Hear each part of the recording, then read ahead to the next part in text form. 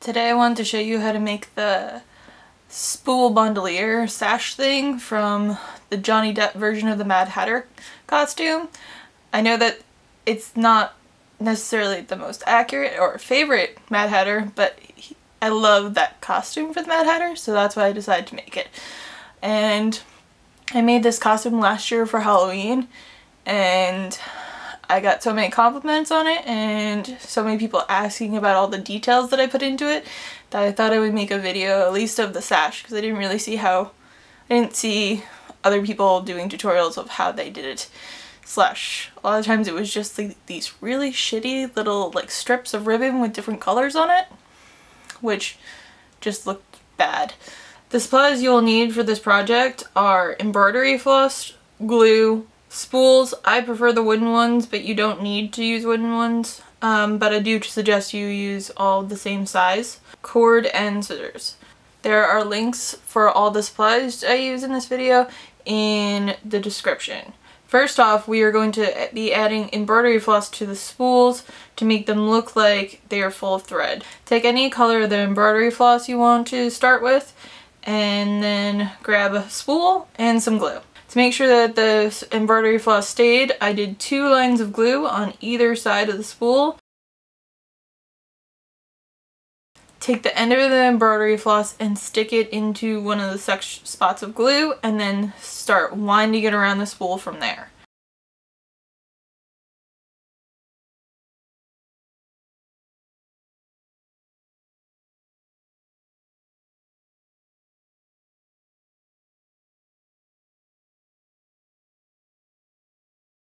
Once the spool is covered, or to your liking, cut the thread and then use the excess glue to tack down the end of the floss.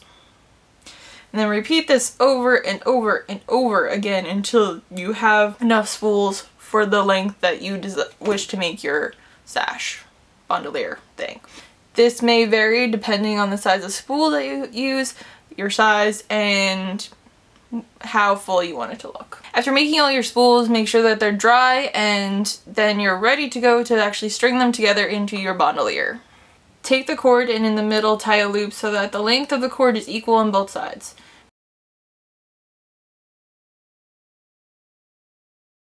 Take one end of the cord and thread it through the first row of spools.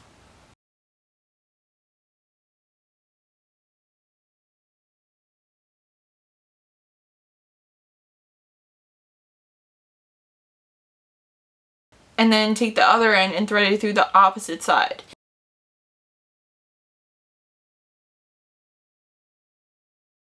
As you're pulling the first couple th rows through, make sure to, they stay straight and even.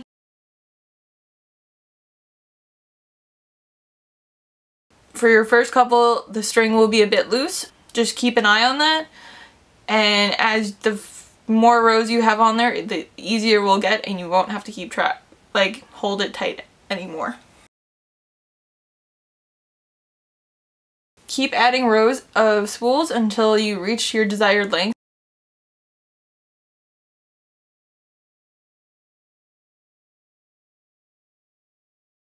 Once you reach the, your desired length, tie a knot at the end so that it is tight and your spools do not come loose.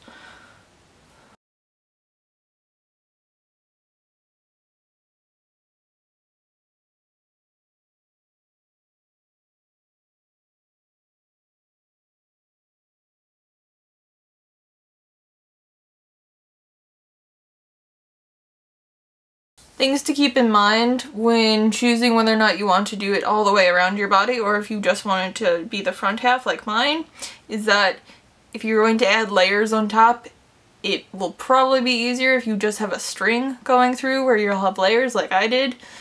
Um, but if you want it around your whole like to loop all the way around, go for it.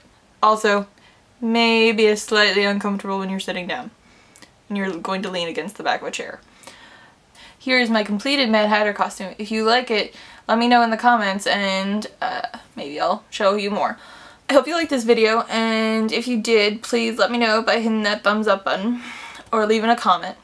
Uh, if you want to see more videos like this, please hit subscribe and I hope to see you soon. Okay, bye. Thanks.